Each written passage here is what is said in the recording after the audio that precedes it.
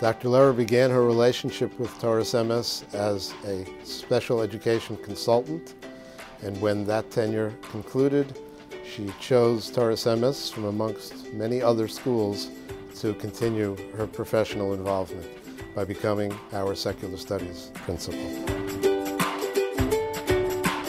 Her hallmark has always been striving for excellence and believing that every child and every teacher can be successful with the proper effort and the proper support. Through Dr. Lerer's professionalism and her caring as a person, she attracted top-notch teachers who, till today, form the secular studies staff in our school. Dr. Lerer had a special way of inspiring all the students and teachers to strive for excellence and push our students to do so as well, in all secular studies, specifically in writing. I had the privilege and honor of working with Dr. Lerer for over 10 years.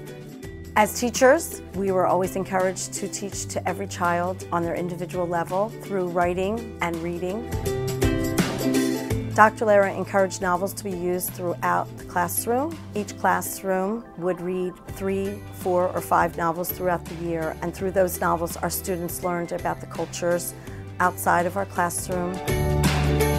Dr. Lerer is revered, respected, and recognized by all the faculty and staff in the school. She instills in us the power to reach every student through writing, reading, and arithmetic.